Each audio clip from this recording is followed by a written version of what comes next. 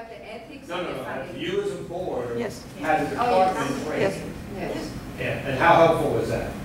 It was helpful. It was at first when we were seated, but definitely for funding and for all these issues, it, it will- there needs to be better training. And I think that online helps because we're all volunteering, but, You're not volunteering. well, You're an elected official. Yes. we're elected You officials. volunteered to be elected, so you're no longer volunteering. Well said, Jay. You're an elected Well said, Jay.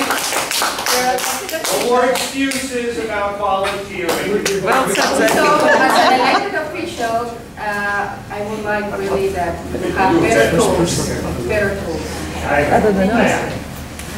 Linda, I want to make a suggestion.